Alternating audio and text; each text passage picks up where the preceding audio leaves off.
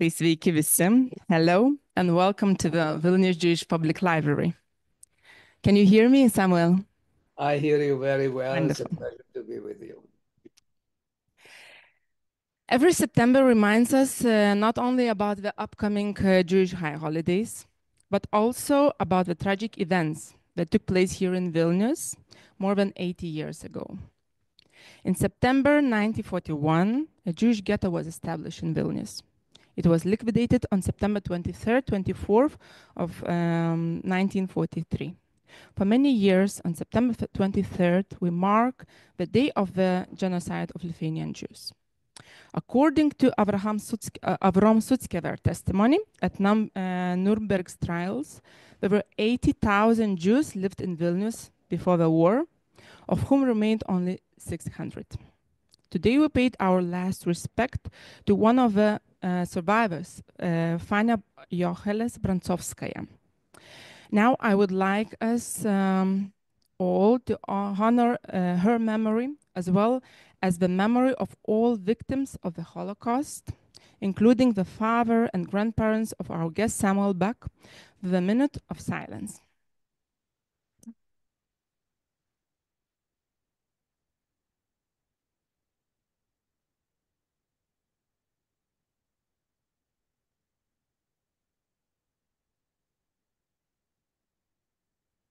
Here in our library, we have many books with stories and testimonies about those horrible times. But it's so exceptional that today we have an opportunity to speak to a person who went through it all himself. It's a big honor to introduce our today's, uh, today's guest, a world famous painter, Samuel Bak. Hello, Samuel. Thank you. It's, uh, it's wonderful to be to be with you. Uh, you know, uh, uh, I exist in, in Vilnius. The Samuel Bak Museum has more than, uh, than two or three or four years of my life in the works that it um, has in its collection. So it's um, it's absolutely wonderful.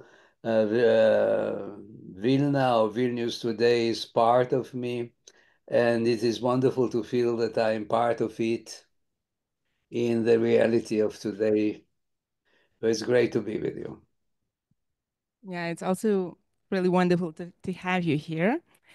Um, and to make our conversation more lively, uh, here next to me, I have two very close friends of Samuel.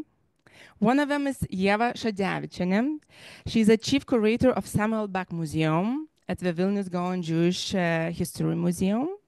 And also we have Rimantas Stankevičius, a very good friend of painter, and actually thanks of him, um, we Samuel Bak uh, returned to Vilnius, but we will talk about it.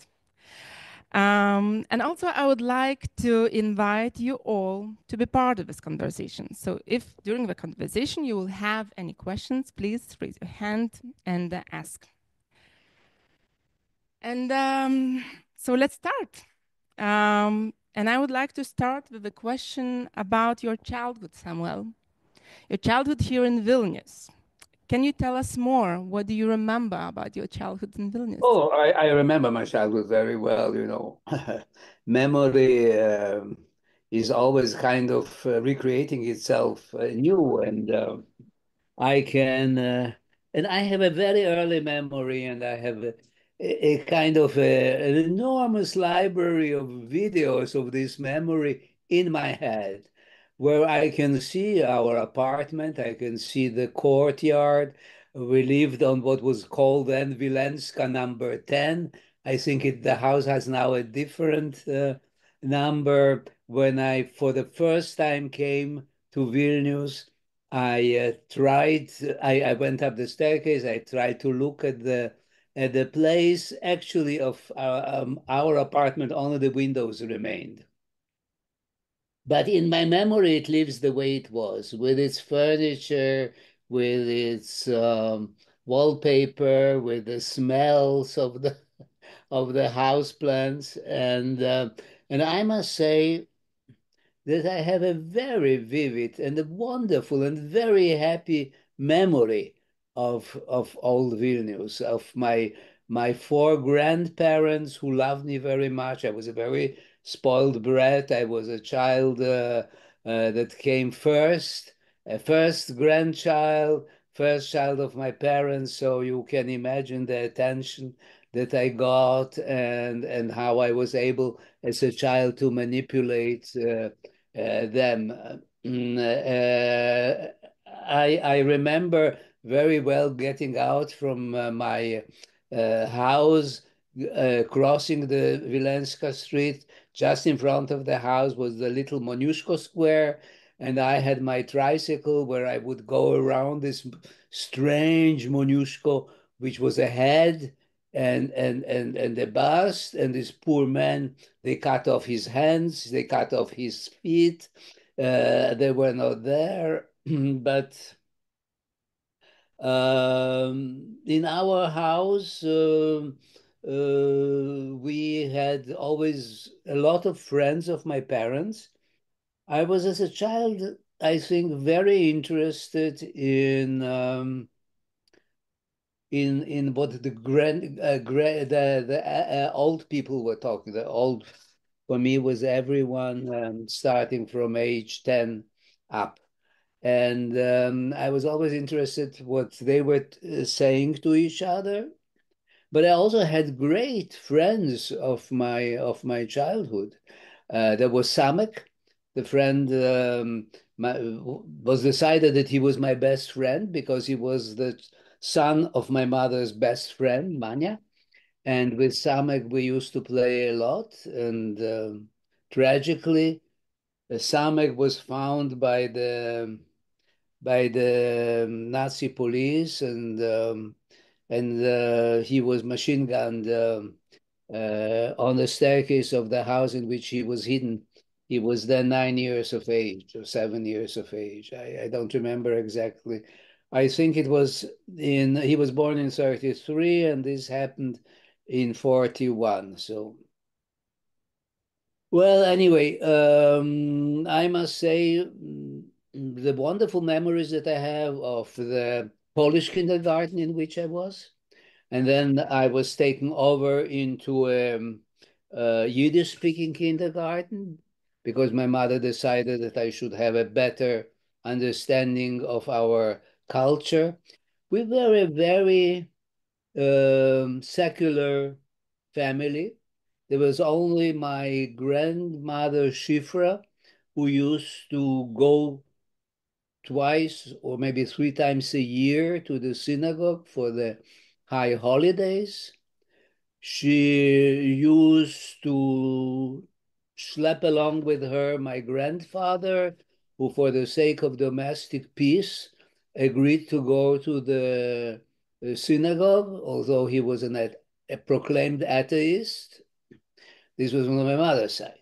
On my father's side, they didn't go to the synagogue at all because uh, my grandfather, Chaim, Chaim Bak, when he was a young uh, man, was a socialist, he was a Bundist. Uh, these were the people who in some way brought the uh, moral vision of the of the Bible into the life of the then the beginning 20th century,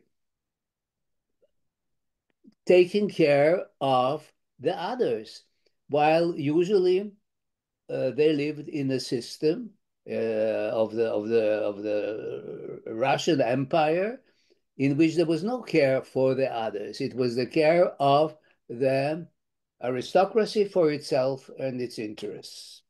So the care for the others it was very much developed in the Jewish community because of the of the culture that the Bible inspired them.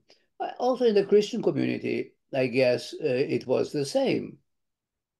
Taking care of orphans, taking care of poor people. Uh, the rich people were having to make donations to the community so that the others uh, would be, be would be taken care of. But anyway, I'm not going to go into the history of the political movements of that time. My my grandfather Chaim uh, Chaim um, uh, in 1905 when the um, when when when the revolution against the Tsar failed, he uh, he was on the list of people to be arrested. He escaped. I described all this in my book, Painted in Words. So uh, whoever is interested uh, can find the book. I understand that the Lithuanian version of this book um, is uh, is by now uh, gone, but uh, you still have it there. That's wonderful. And um, uh, the English version exists also, of course, as, as an ebook. So this this whoever reads English can get it uh, very easily. All these stories I tell, and and in my childhood, I, I was told the stories of my grandparents. So somehow, in my own memory, I carry in me generations of of of of of people who, who were in the world uh, before me that as a child amazed me because I thought all these people worked so hard to make me. So this gave me also, of course, the sense that I must make them happy. And in some way, this very childish um, idea of making them happy exists in me until this very day. Now that I'm 91, I'm speaking of them. I'm speaking of the old uh, Vilnius that existed so many years ago. And it, it, it, it, feels it feels absolutely wonderful because all these things, thanks today to, to what you have um, set up here, uh, we can bring them back to life. Because uh, there is something very important to say about the Jewish community of Vilnius, the 80,000 people. There were very different strata of that population. There was a certain strata of people that had means, uh, that believed, like my my parents, that um, skies were the limit that if I spoke a good Polish, I will be accepted at the university. I will be able to become a, I don't know what. But um, the, there was a very large, very poor Jewish population. Part of this Jewish uh, poor population still religious. They still kept uh, their um, traditional beliefs of, of the diaspora of um, years ago. There was a commercial uh, strata, like my grandparents in some way. They belong to the people that, that, that did uh, commerce. But there was also culturally uh, a, a, part of the Jewish um, of the Jewish uh, population believed in the importance of the Yiddish language part of it believed in the importance of the Hebrew language. So there were those two possibilities of education. The Hebrew education had a more Zionist uh, inspiration in it, the Yiddish population a more socialist one. In fact, it is known that a very huge um, communities of Litvaks that um, in the, those very troubled years of the beginning of the of the 20th century escaped, uh, some of them to Argentina, some of them to um, South uh, Africa. They all developed a certain continuation of the Litvak mentality, the Litvak need for studies, the the uh, the, the, the, the, the um, keeping uh, uh, in alive the Yiddish language lasted for one generation. Kaczerginski, for instance, Kaczerginski became the secretary of the uh, Yiddish community uh, in Argentina. And, uh, and that is how he perished in a, in a, in a, um, a plane crash where he was traveling from one place to another to gather information and to present things. So Kaczerginski, I think, died in I'm, you know, I, I, I, I, I apologize. At 91 years, one has some, some, some problems with memory. But um, he, around 56, 57, there was this plane crash in which he perished. And it's very strange, this man who was a partisan, who was such a hero in the, in the um, ghetto, who was a very devoted communist, very devoted communist. Uh, and then, of course, escaped communism because he, he suddenly had the possibility of seeing it, what it was, and what it was for the Jewish population in the Soviet Union. And he escaped, and uh, through Paris, he later found his uh, job in um, in um, Argentina. But I remember him as one of the very first men who took, who, who, who wrote down testimonies of people. And I don't know if his book, The Destruction of Vilnius, was translated into other languages. In Yiddish, it is called Khurbn Vilna, which means the um, destruction of Vilnius. And what is so extraordinary in this book, and I'm speaking about it because I hope that one day maybe there will be a Lithuanian translation into that, is that, for instance, there are at least 10 or 12 accounts of the same event in the HKP camp in Vilnius, in which I was after the liquidation of the ghetto, which is, of course, at the date that we now commemorate. And uh, uh, the children that were with the parents in the in the camp were taken away.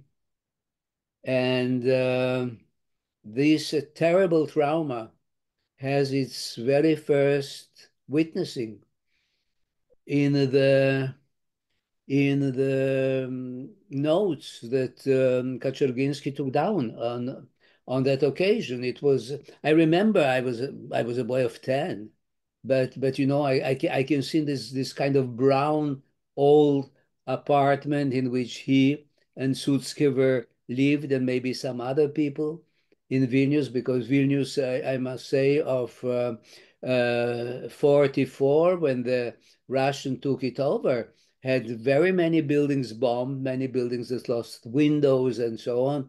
We lived for for some time in in in a part of an apartment that was that was still possible. I mean, um, and and then we lost it because um, there was a big, an enormous explosion of a train in the uh, uh, the railway station of Russian ammunition and uh, of course, no one knew exactly why it happened. It was most have probably been um, the work of um, nationalists or maybe just an accident. And so many windows that remained in Vilnius flew out. And I remember the streets of Vilnius uh, covered by millions of pieces of glass from windows uh, from which people took off then the paper that was sticking to the glass so that the glass wouldn't shatter and fall into the street. So I, am sorry I went into details. Yeah, and I think and I think we can uh, even uh, see some of those uh, glass pieces of yeah, glass right. in your paintings.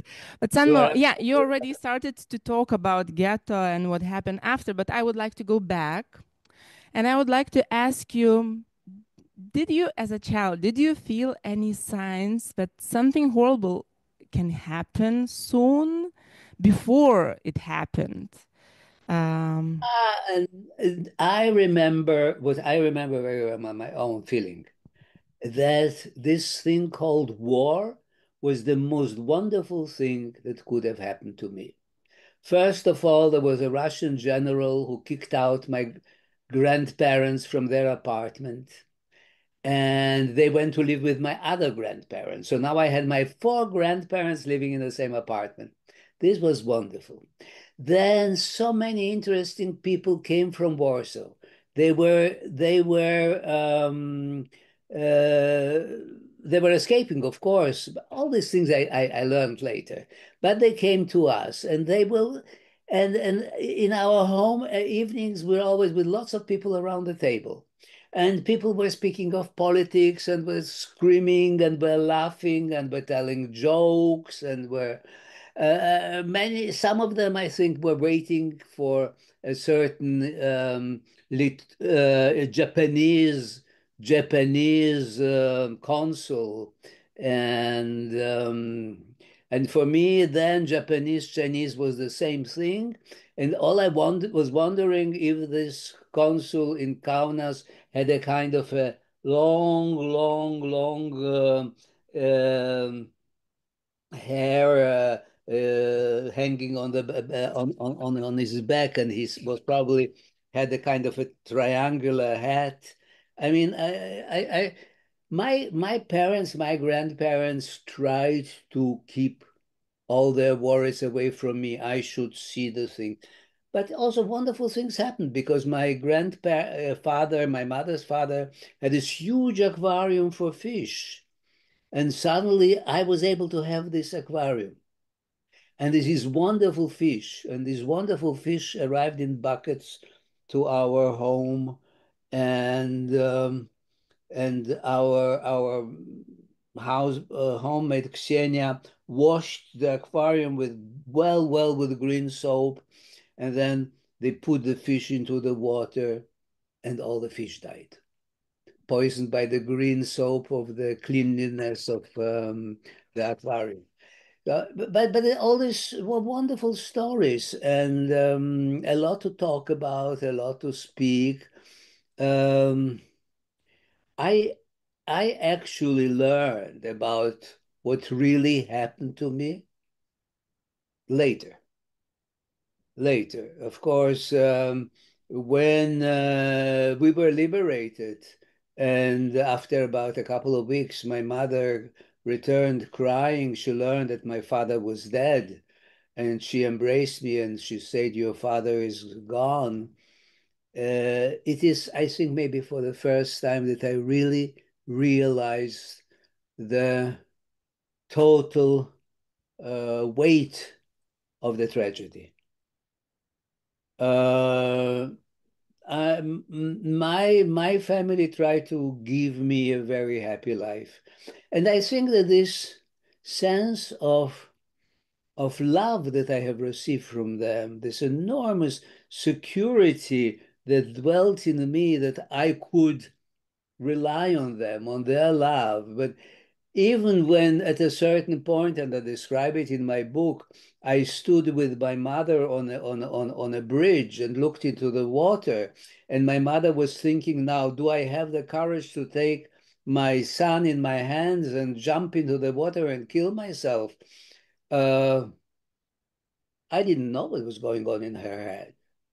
And only at a certain point, she took me and we ran and we, we arrived to the convent and Sister Maria Mikulska opened us the door and we were, we were saved. But it was when my own children were playing in the uh, on, on, on, the grass of my uh, home in Israel so many years later did my mother tell me, you know, I must confess that uh, there was a moment in which I, I was determined to kill myself and you because we were in such a despair. We did not know where to hide. We, didn't know how to escape. These were the last months of Vilnius before the liberation.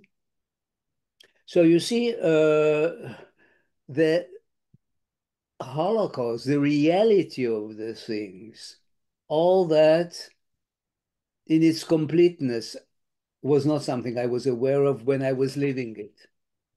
I learned about it later, and relatively fast. Uh, when I was 15, 16, 17, of course, I learned it. And it was an important learning, and I learned it also with a certain specific vision of things.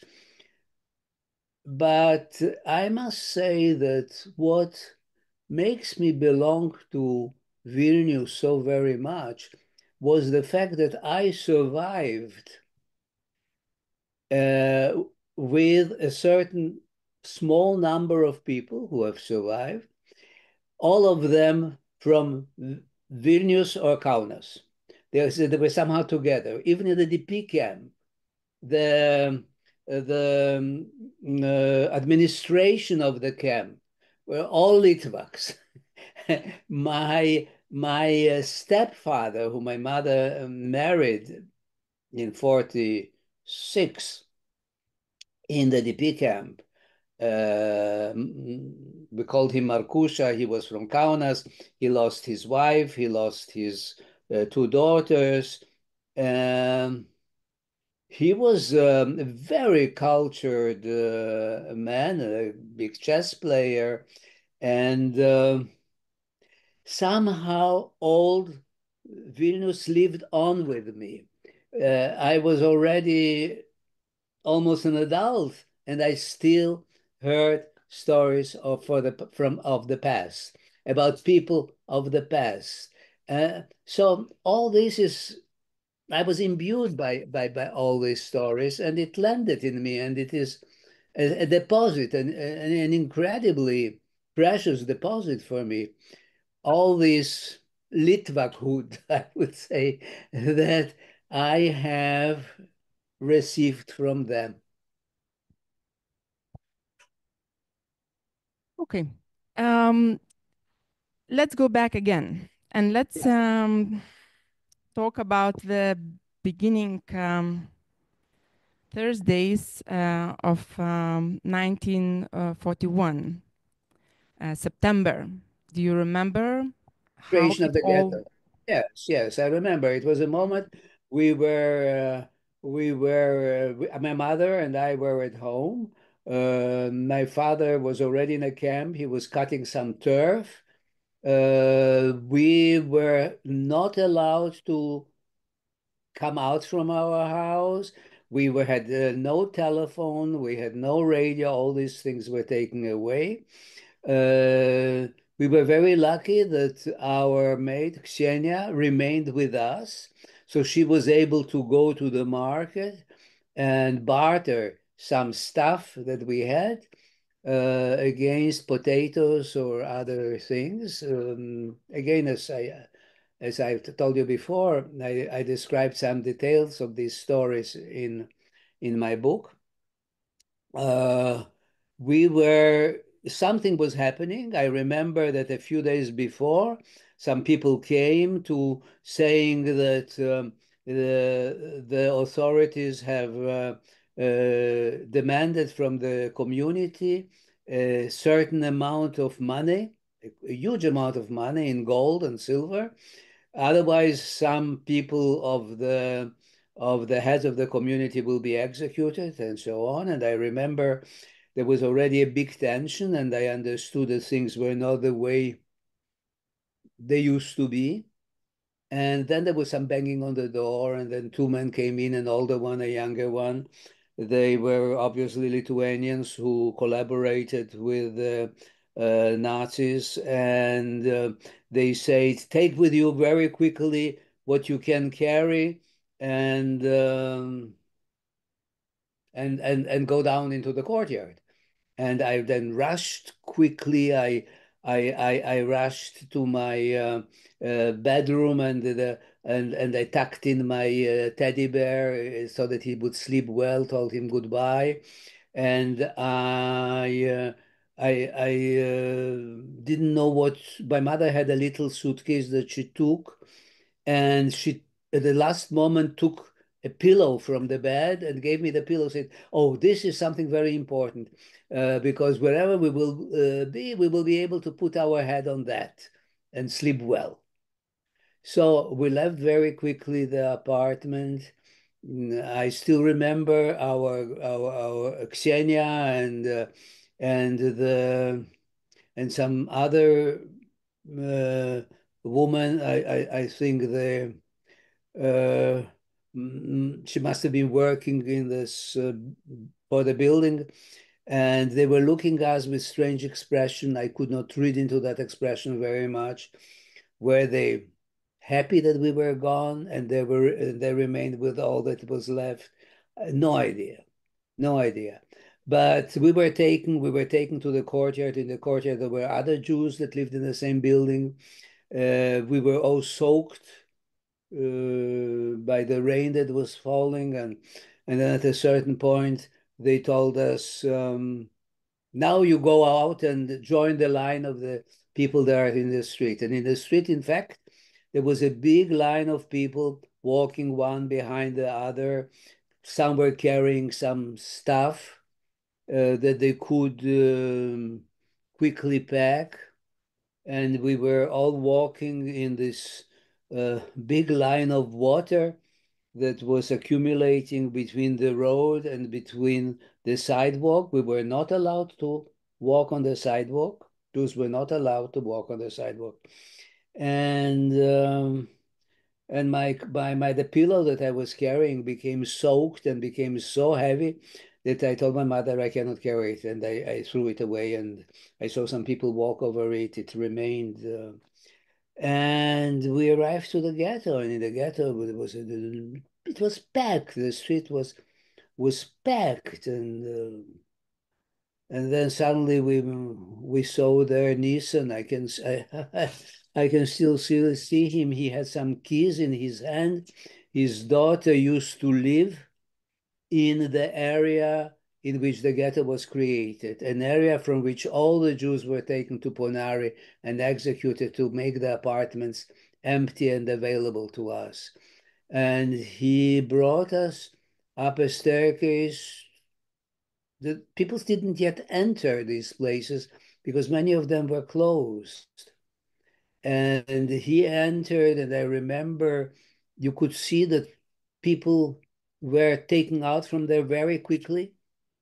And uh, uh, and then uh, somehow um, we walked, we, we entered a shop, we walked into another courtyard with my mother, and uh, she tried to, to get an idea how we could escape the ghetto, but we still remained for one night we, I remember we slept in the ghetto. I remember that there was some screaming in the staircase. Somebody, a man committed suicide by hanging himself.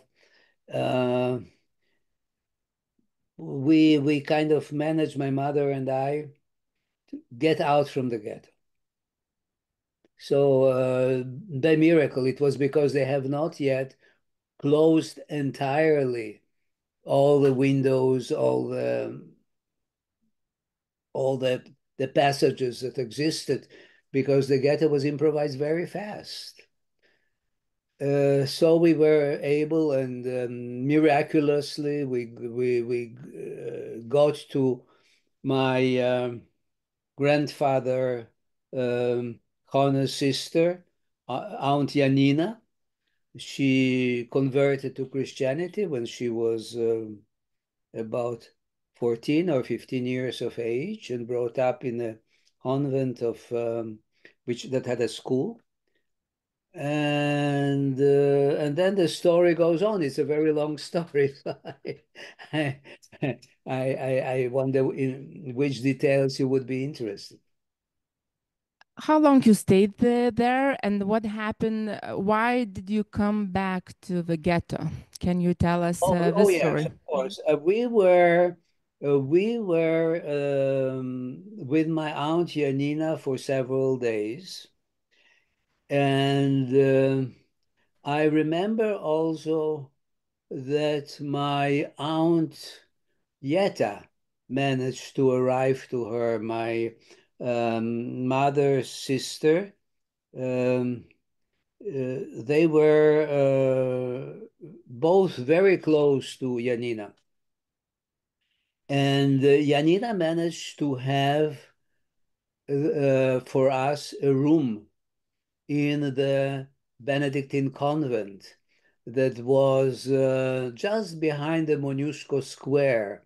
It was a big, big convent it was um, part of, I, I, I believe it was St. Catherine Church, if I'm not mistaken. And um, uh, she got for us a room. She had a dispensation of the um, archbiscopy uh, for us to enter the what it was called the clausura, which means an area where there were only nuns had an access there. No foreigner was allowed there. And they uh, found a way of hiding there. Uh, my parents, my father managed to escape from his camp where he was cutting tar turf, which was outside of Vilnius. I don't remember now the, the, the name of that camp. Uh, he um, joined us and Uncle Yasha and, and Yeta came. They had a little girl, Tamara, uh, but she remained with Aunt Janina. Uh, she was blonde, she had clear eyes, she she was uh, supposed to be a Christian child. So we were in that uh, convent for uh, quite a number of, of months. But my father has created a hiding under the roof in case the convent is searched by German uh, by German authorities. But then uh, one uh, morning, uh, many trucks came, surrounded the convent, and told the nuns, um, "You will now be expulsed from the convent, uh, arrested, and um, the convent will become a, a German a German institution. Uh, the Rosenberg the Rosenberg um, uh, administration will collect their books and have also their headquarters. Um, okay, I would like to move uh, to the moment um, at the ghetto uh, when uh, your teacher, Rochel Sarabski, had a teacher. Can you say a few words about her?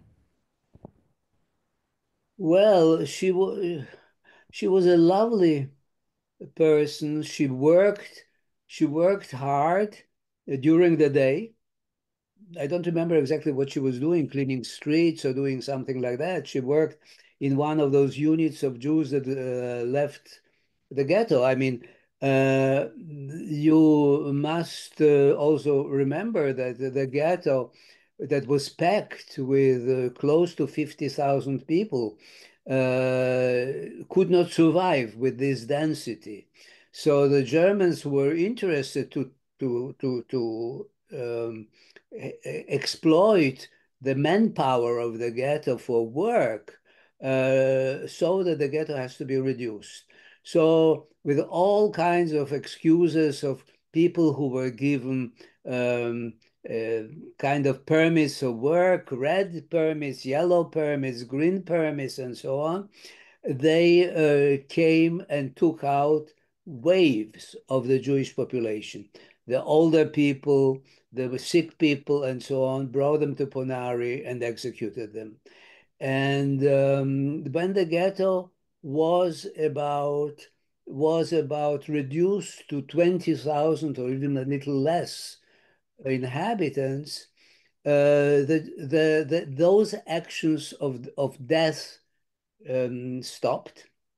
And people were only from time to time arrested, from time to time executed. But um, people were working in those units of work. So Rochele, my, my, my teacher, who my mother found for me so that I wouldn't go to the school, which I refused to go, that was always packed with children, always shaved heads, and it kind of scared me. Uh, Rachel took it on herself that in days in which she was working hard outside and returning to the ghetto around five and six, around eight, she would be available to teach me so my school was but but but i was i loved learning from her uh, learning from her uh, to write, read Yiddish, uh, uh, Polish, which was actually the language that I spoke with my parents. And um, she also uh, admired my artistic my artistic talent and she is the one who brought me to Sutzkever. She knew very well Sutzkever, and um, and and then what followed was my exhibition. Uh, was was not my exhibition. Was my great participation in the exhibition of the artists of the ghetto. Yes, I ask about Rachele because uh, she is also mentioned in um, Abraham Sutzkever's uh, newly uh, translated books, uh, book to, to Lithuanian language, uh, his memoirs from uh, from Vilnius ghetto, and he's writing here um, about how he met you. Yeah. And he, um, I will not translate everything, but I will say a few phrases. so basically, you ask him what is um, uh, expressionism? And uh, you ask him to paint it. And, um, and he said, I don't know how to paint it. Uh, and then you ask, how can you not, um, why can you paint something what you know? Uh, and then he said that uh, the situation showed him that there is a very um, special person in Ghetto, and his name is Samuel Bak. So it was your. this is uh, how he describes um, uh, your. Yeah. Um, oh, it's true. It's I, I had a very good I had a very good relationship with uh, with Sutzkever. I um, I I think that he made me feel very. He made me feel very special. But um, he, I remember his tiny room. It was a tiny room where there was a cupboard and there were about two beds. Uh, one was his and his his wife's. One was um, one was Kaczerginski. The wife of Kaczerginski lived outside of the ghetto because she wasn't Jewish. And um, he had, I think, he had there two art books on top of this cupboard and uh, one of the books, uh, and, and this is how he was speaking to me about art. One of these books was by Pasternak, uh, The Art of Pasternak. Pasternak was the father of the famous Pasternak who had a Nobel Prize for Literature and who wrote Dr. Zhivago, who was a very, very famous novel in the, I would say in the 60s of, of, the, of, the, of the uh, mm, last of the 20th century. Uh, I don't know if anyone has heard about Dr. Zhivago today. and they made also a big film. But um, Pasternak was a very fine painter, and this was a book of reproductions, and he was showing them to me. And he was always, all, all he had always something, I, I think, by by Chagall, and he he was very. Uh, very proud of his friendship with Chagall because when Chagall visited Vilnius, and by the way, made also a, a couple of watercolors of the big synagogue in Vilnius, which I think have remained and exist and are in some way a document of, of somebody who visited the great synagogue. Uh, so he he he spoke to me quite a lot about uh, that and and also about art. And then I remember, I think it was also somehow with his help or some friends of his gave me a big package of postcards of the paintings of the Louvre. And this is how I was introduced to the big art of um, of the world on these postcards. I carry these postcards with me, even to the HKP camp. I um, these postcards gave me an idea of the great card, but didn't give me an idea of the dimension. Uh, I remembered, for instance, the large paintings on, of Delacroix, uh, uh, printed on a small postcard, exactly the same size like the paintings of Vermeer, of the the lace maker, who is a tiny painting that is more or less the size of the postcard. And only in 56, when I arrived to the Louvre, and I suddenly saw the enormous difference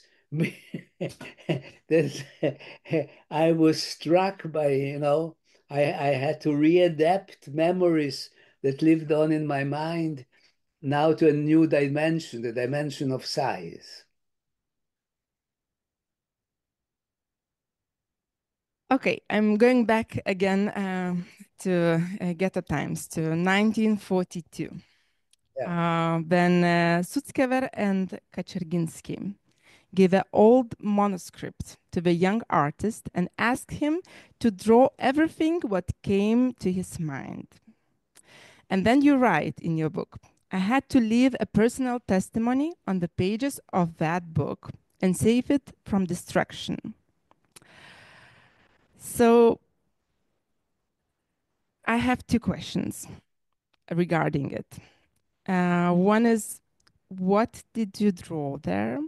And another one, don't you think that this book, uh, which has a name Pinkas, was kind of a mission, your mission in uh, in the ghetto, and um, it it moved you forward, you know, because you have a very like uh, important mission to carry it and to save it. Yes, yes, yes, of course, and some things a child can take literally. Uh, but a child is only a child. I mean, a child can be extremely gifted, but a child remains a child. And uh, uh, I I knew that this book had something within it very mysterious because I could not read the Hebrew of that book. That book was um, is today uh, the Pinkas is today in the uh, Samuel Bak Museum in Vilnius. But uh, the book originally was part of a philanthropic uh, society of the Jewish community. It was uh, a book uh, called of Ohavei Chesed. Um, it was a book in which there were some principles of the philanthropy and the helps and the various commissions that existed but it was packed with names, lists of names of people who were in these different committees that were checking each other, that were controlling each other, that from year to year changed. And it is only with time, with years, that it dawned on, on, on me the importance of this book for the community and also what it represented as a symbol the care for others. Uh, I, I, mean, I, as a child, I, I made into it all kinds of funny drawings of people laughing, of um, some things that were sad, like uh, myself hanging with my arms on the, on the branches of a, of, a, of, of, of, of a tree, which you do not even see. You see just a kind of a flimsy branch to which I, I, I pour, put out my hands. And um, some images of Ulysses, of the Greek, Greek mythology that I love, that I studied to, together with Rochele, and um, which I loved because it allowed me in my imagination to escape into into other worlds. And I also remember that uh, gave me the book of um, of um, the Jewish writer from um, from uh, uh, Warsaw, Korczak. Uh, it was a book called um, uh, about the Invisible King, something like that. And uh, and I thought it was incredible to become invisible, all the things that I could do if I were invisible and so. So uh, even in the ghetto itself, I had a life sometimes of satisfaction, of wonder, of uh, of of this relationship with with people like Sutzkever. I, I, I never realized then that Sutzkever was the greatest Yiddish poet of the 20th century. I, didn't know that. he, he was, and it's amazing that he had this interest for me. But uh, here we go. Some people are destined to become kind of uh, witnesses of history, and this is happening. And luck made me get also to that.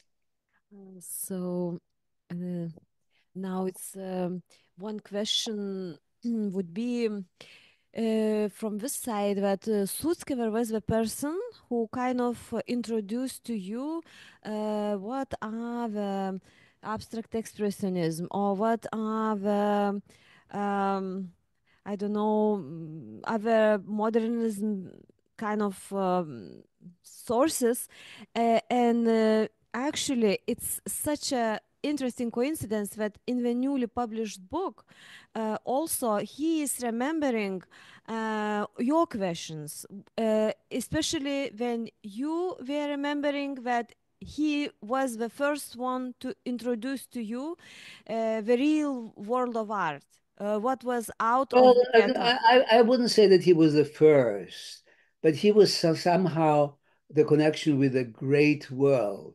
My mother uh, studied art in Vilnius. Uh, she wasn't able to be. Um, there were, you know, there was a, a numerus clausus uh, in the university, accepting only small number of, of Jews, and uh, uh, if you uh, if they were women, it was even more difficult and so on. So she, after she she finished high school, uh, she studied some art, so she knew something. I don't think she was so well informed of what was going on in, in the big world. This Sutzkever was. And um, uh, so, for instance, I remember Sutzkever speaking to me of, of Cubism. And I tried to imagine, to invent a kind of, a, and you have in your collection some things that are, or even in, in the Pinkas, some things which are kind of my own interpretation based not on seeing but on hearing from Sutzkever what Cubism was trying to reinvent. And I, I, I must say that um, throughout many, many years, I had uh, contact with him until uh, when he was relatively old. And I remember meeting him in Paris. I remember meeting him in New York, uh, Tel Aviv, of course. Um, yes, Sutzkever at that time when I was in ghetto, I, and, and immediately after the ghetto, I didn't know that he was working for Ilya Ehrenburg and, and writing down so many things. He and and and and Kaczerginski, which were supposed to be part of a book on the, of the destruction of the Jews, which then, when all the material was collected, the Russian authorities decided uh, uh, uh, not to publish. And I mean, the, the, the rest is history. I don't have to tell you. I'm sure you know all about it. Uh, so actually, I can also show uh, to others that uh, Samuel Bak had painted a series of pillows. right.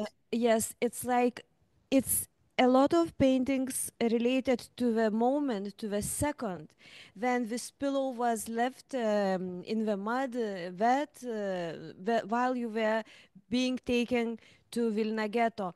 Uh, so uh, we can say also that your art was born from your miracle of survival, but also uh, your art is testimony of Holocaust. And so um, numerous signs and numerous symbols go through through all the uh, creation, and in a way um, that some memories, like a pillow, let's say left left in the mud, I think it's. Um, also one of the key uh, symbols of your childhood, which was you mentioned also that it was ended at the moment in a way that you had left home and to leave Yeah. this pillow. It's true. It's true. I mean, um, when I when I kind of moved from the art that I was producing in the mid 60s of last century and moved to a much more uh, realistic, figurative way of speaking, I think it really came because I felt that I had a story to tell. But I couldn't tell it directly. I could not speak of the horrors. I had to find a, a, a kind of metaphorical way of, of, of reaching out to all that. I also somehow felt at that time the story that I wanted to speak about was not only a Jewish story, it was a story of humanity. It was a story of what man can do to man, of the worst and the best that lives on in most people. But according to condition, to circumstances, they can commit this or they can absorb that. I, I, I don't have to tell you that there is a very clear notion today uh, about um, abused uh, who become abusers. It is known that most abusers are children, as children were abused. And, um, and unfortunately, historically, this has happened to very many nations. And we cannot uh, speak today of the end of the of the liquidation of the ghetto of Vilnius, of this terrible sense of loss, of, of, of, of despair, of fragility, without thinking what is happening right now, today, to Jews in Israel, a state which feels itself at the brink of existence. And what is the response? Can uh, traumatized people come up with rational solutions? I don't know. I don't know. When I arrived to Israel, for instance, um, the fact that some people were expelled from their homes in order to create homes for, for us was something that looked to me almost natural. Of course, this was done to me, so now it is done to them. Why some people who were not involved in the Holocaust had to pay for the price of our suffering. All of all this, I started to think much later. I started to think in, in the times when I felt very unsecure in Israel, and I thought that I would not be able to go on a life in which I can dedicate myself to art when my uh, soul is taken over by the question of survival. And this woke up in me the times of the Yom Kippur War, uh, which was many, many years ago. It was in uh, 73. Uh, but you see, I mean, all these existential questions, they come on the surface even today when we speak, even today when in so many places people try to commemorate um, Jewish events. There are some other people who, with their logic and with their rights, say, but just a moment, let's also speak of the Palestinians. So, I mean, we live in a reality in which we realize suddenly that even if we are witnesses of a certain time, we must try to put all these events into the context of our lives, into the context of what we can learn, what we can learn of those years. Uh, today I'm an American. Today I live in a country in which the ignorance of the population is enormous. I mean, um, when when you say to I think to the majority today of the American population, Vilnius, maybe they ever heard it.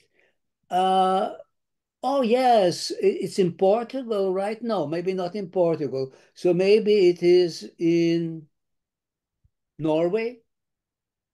I mean, the, the, the ignorance is total. What happened in Europe in the 20th century No one knows. No one knows here that there was a crisis in Germany in the 30s, that uh, Hitler was brought to power. Hitler, it was known when he was in prison in Landsberg after the, the, the, the attempt of the uh, communists to seize uh, Bavaria in, in, in, in the 20s. Uh, he wrote Mein Kampf everyone knew what was his uh, what was his theory, but the German uh, intelligentsia, the German mainly the German industry, and so on said he has a way with people. People love how he speaks. They have trust in him. It's true he's a clown, but let's give him the power. And this is how Hitler came to the world and came to the power and, and created this terrible, terrible destruction. And um, the destruction of the ghetto of Vilnius is, is one of the results. So, um, uh, what can I say? I live today in America. We are in front of, we are, we are facing now, um, we are facing now um, elections uh, what will be the result of the elections? We don't know. There is uh, uh, there is one um, person that uh, that is supposed to be uh, vice um, uh, vice president who says Ukraine about Ukraine, let them just manage, let them just take care of themselves. Doesn't interest me. This man is supposed to become the vice president of the United States if I must mention the name that I don't like to dirty my lips with if Mr. Trump is elected. Now, just imagine what will happen to Europe. Suddenly, history repeats itself because things like the destruction of the ghetto of Vilna and the murder of millions is unknown and the same friends of Mr. Trump who are negating the, the Holocaust, negating the Holocaust while Trump's own grandchildren, the children of his daughter Ivanka, are brought up as Jews and, as, and will certainly learn as Jews about what get, happened in the ghetto of Warsaw, in the ghetto of Vilnius. I mean, how can we speak today of the tragedies of the past when we have, when we realize that somehow the lesson that we, that the world had to learn from them, not we, we know what has happened, but the world had to learn from, from them, and it did not. So it's, uh, I, I, must say, it's, it's very difficult to speak of these things and and and say, okay, so so what then?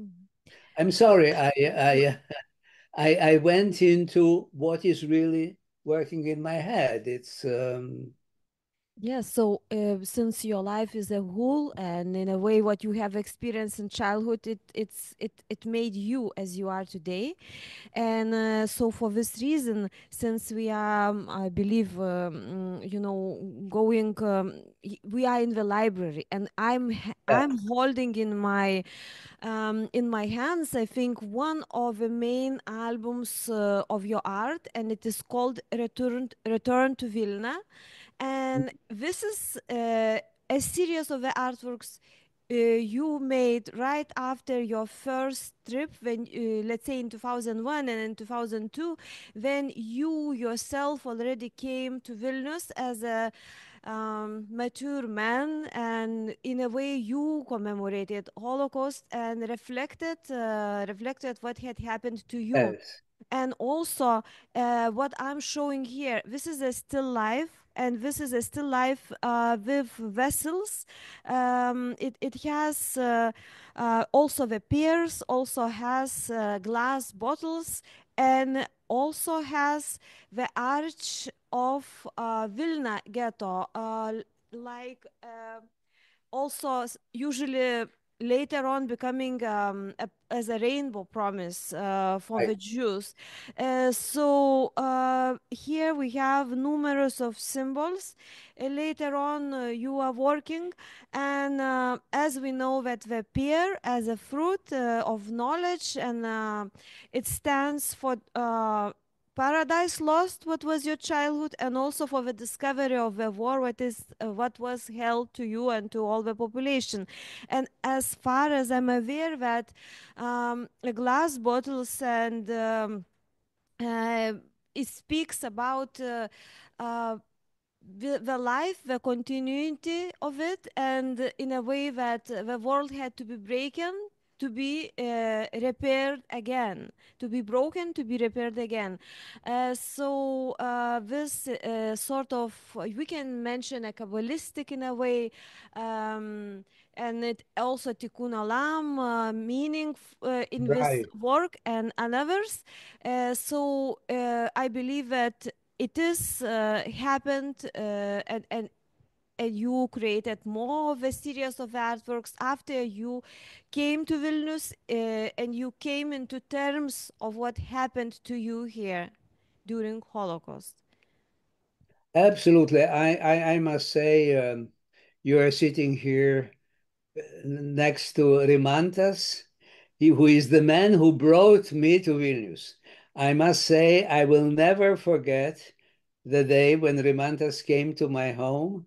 He was writing then about the Malina, the story of the Malina, the story of the people who were saved in the convent.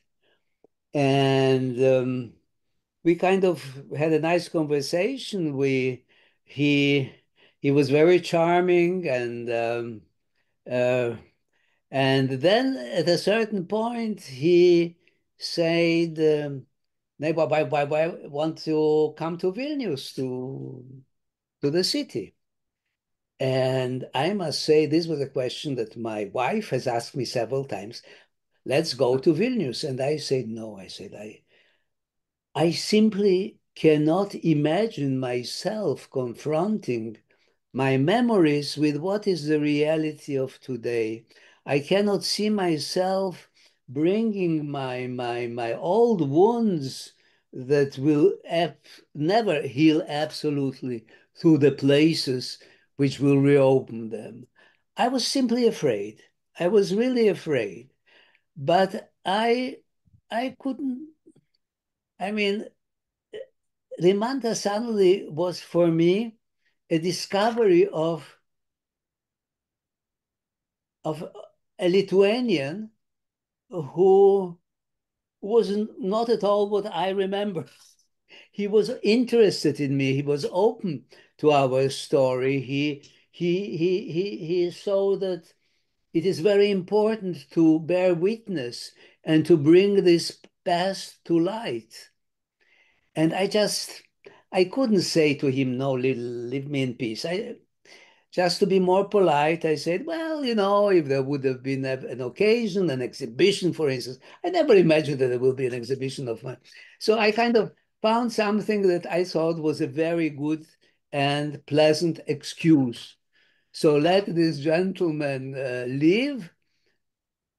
Somehow I think it's also in my nature to try to give a good impression of myself. This is something that my mother taught me. You know, this was a kind of uh, a very Polish way of uh, rączkę. Uh, it was, um, it was, um, this is how it's in my system. Okay. But then what happened is that uh, Rimantas left and um, a few weeks later, Emanuele Zingeris telephones and says, uh, I am inviting you in the name of the Jewish community and the Lithuanian government and whatever to have an exhibition in the new museum that we are um, that we are now building. And it will be ready for the 23rd of September. Uh, this was in the beginning of the year and so on and uh, you you will bring a number of your uh, paintings. We will make the exhibition. And suddenly I was confronted there, here. I am invited in September to come to Vilnius.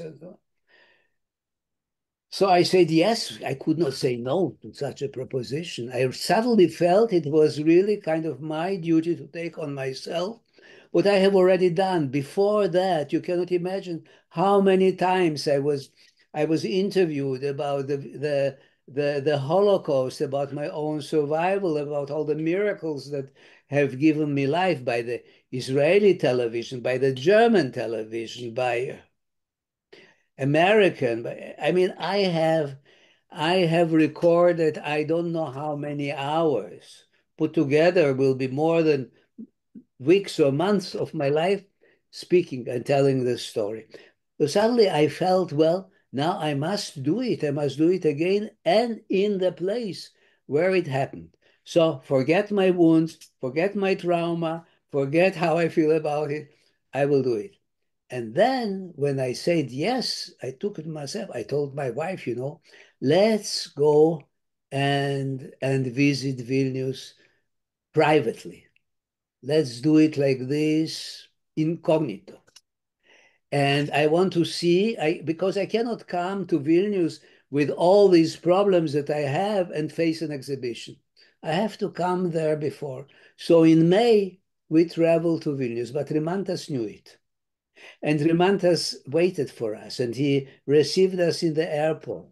And with with flowers, with Emanuele Zingeris there, with some people of the community, we were welcomed like it was extraordinary. It was extraordinary. Suddenly I was being desired there. And, and, and so uh, if I say that Rimantas brought me to Vilnius in some way, he not only caused this thing, but with time, I remember when I came with, uh, when my first grandson had 13, I came with him Rimantas was helping us out in all kinds of ways.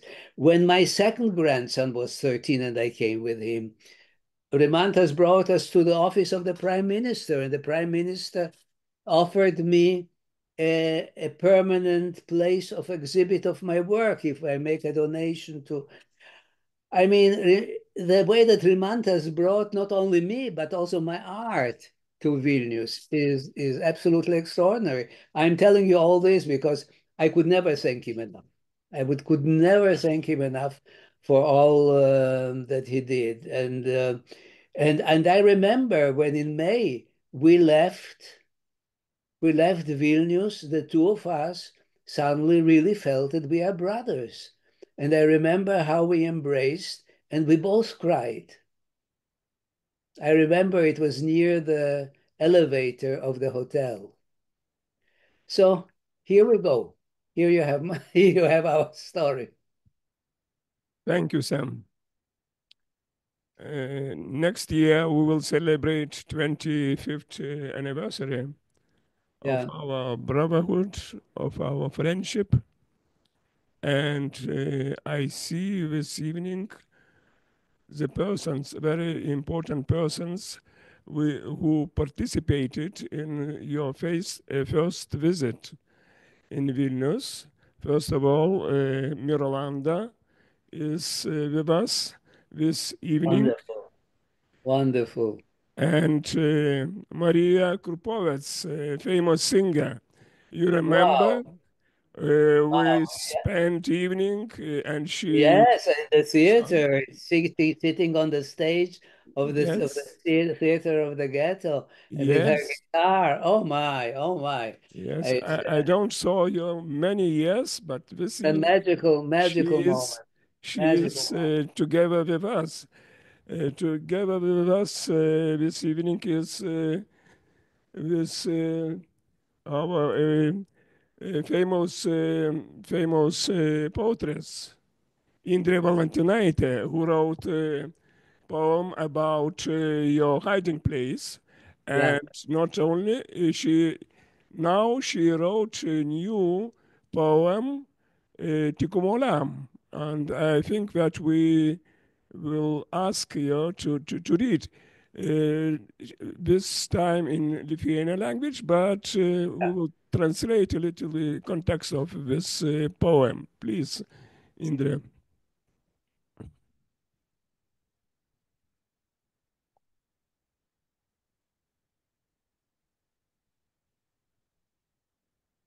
Thank you, Rimantas, and hello, Samuel. Hi. So it's a pleasure to meet you, at least via Facebook. So, okay. Thank you, thank you. I uh, I am in front of you. Okay. I see you very well. Yes, as Rimantas said, the poem is in Lithuanian. I hope in a year or two it will be translated in English. And uh, unfortunately, is the it's it is the longest poem I have ever written. But later I will just tell you in a few words what, what it's all about. Tikun Olam. Šį vakarą mūsų susitikimo vieta bičiulių pamėgta vyninė ties rūdininkų ir visų šventųjų gatvių kampu.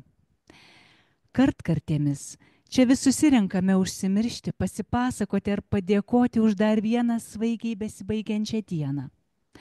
Žvangsi taurės, įsimylėlių nutūptos palangės, po jomis nukratomi cigarečių pelenai, mėtosi nubučiuotos nuorukos.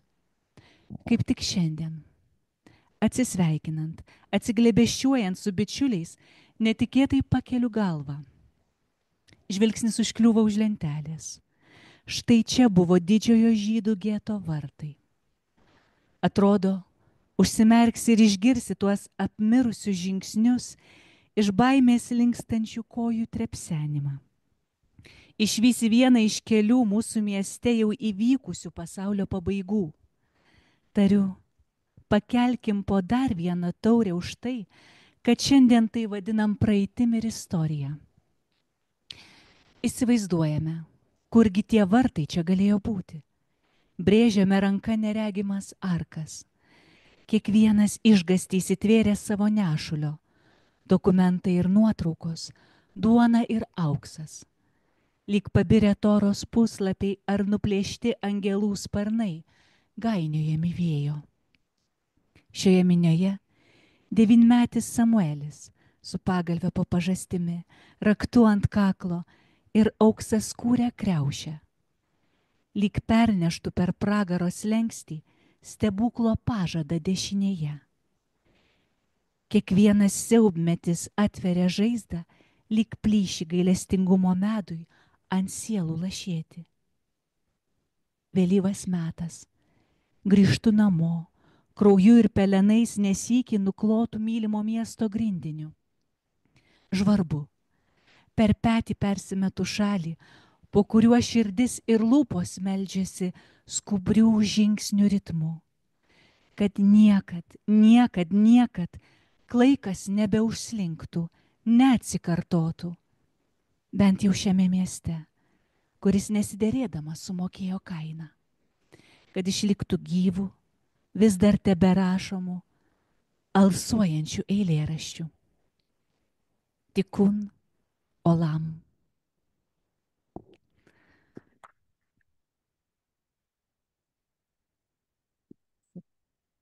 Thank you for listening so patiently. And um, actually, I'm just telling a story um, as I imagined you, nine year old boy, um, going to the ghetto, to the narrow streets of Vilnius with um, that pillow under your uh, arm and uh, um, key hanging on on your uh, chest, and also um, just keeping a pear in your right arm, in your right arm hand, uh, and uh, the pear is um, in gold. As you know, uh, the kings, kings and queens usually have these regals. Yeah, sure. English. Yeah, so yeah, and- Fabergé eggs, it's a Fabergé pear. yeah so it's kind of a promise uh, for Yeah. you to you know mm, to survive so it's it's actually a very long poem it's about vilnius but in the center of it it is you and the symbols we usually find in, in your paintings.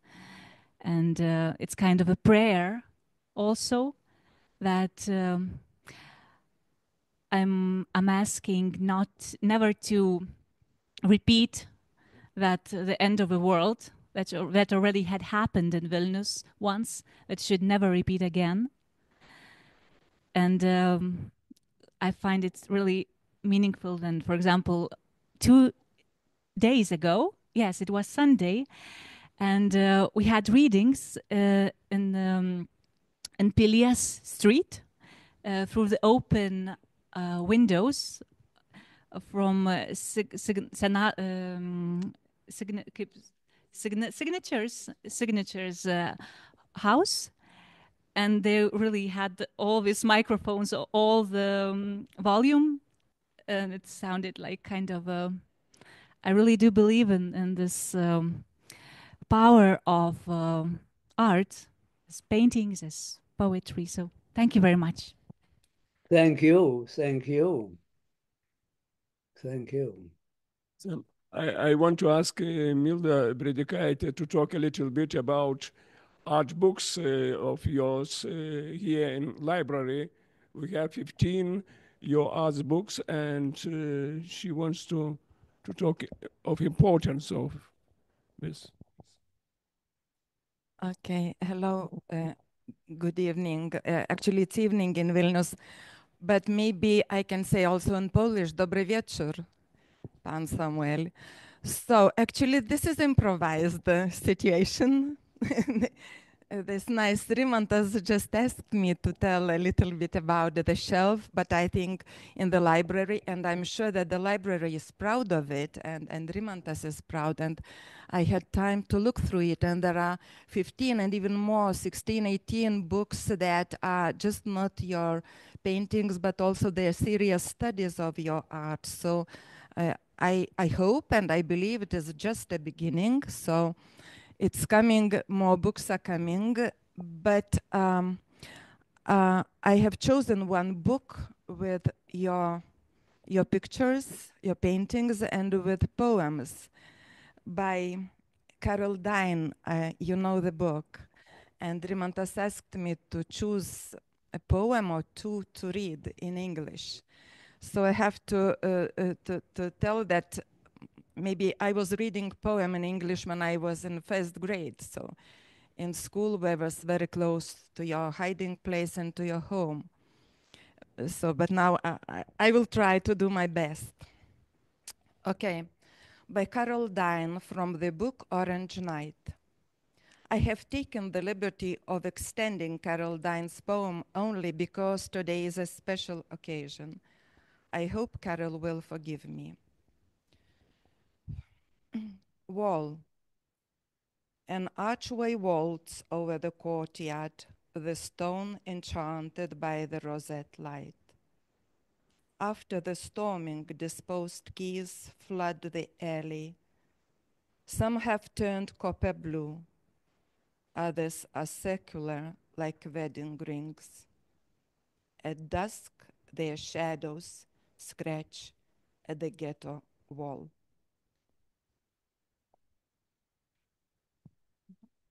Yes, you can show the picture. And one, mm, and one more. Letters. Block letters that should be in a boy's room, perhaps on a shelf. Instead, they are carved in a giant boulder on his father's yard set. the stone lifts. Jonas, July 1944. Forgive us, Lord. Forgive us all. Forgive us. Forgive us. Forgive us. Thank you. Thank you. Uh, she was uh, she was a wonderful poet. Uh, she passed away. Carol passed away of of cancer some years ago. She was a very good. She became a very good friend. But she wrote her poems actually when she saw my paintings before before we met. Yeah, it's very moving. Thank you so much. Thank you. Uh, so, so Samuel, as you already understa- understood, um, uh, so now, from now, from today, here at the uh, Vilnius Public uh, Jewish Library, we have a shelf dedicated to you, uh, uh, and it's filled with books about you and um, about your work. Um, and also, it's a good time to mention that book you mentioned, Nutapyta žodžiais, painted with words. Um, we have this book uh, in our libraries, uh, and you are all welcome to come and to take it and to read it if you if you didn't until now. Uh, and now it's time for questions. Samuel, hello. Samuel, hello. Uh, uh, very, very simple question. Are you planning to come to Vilnius one more time? And please uh, know that uh, taxi services will be free of charge for you, as it was the first time. Thank you. Uh, Thank Sam, you. let Uh, me let me answer this question Yeah. because I know answer. As we talked last time in April last year, I promised to collect money and to buy personal Buy plane. plane, Yeah, right, and it will be right. possibility to you arrive here. So it's belong from me if I succeed. Yeah. Collect money There's enough money for to buy. for personal plane. So I'm not, Well, I'm me, not a, I'm not a pilot, but I'm a driver, so driving ah, services will be thank free of charge. Thank you, thank you so much. Do we have more questions? Hello, Samuel.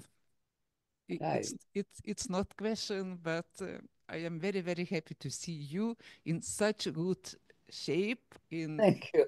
great spirit, and as always, with, with incredible sense of humor. Thank I you. hope you see in Vilnius. Thank you. It's wonderful to see.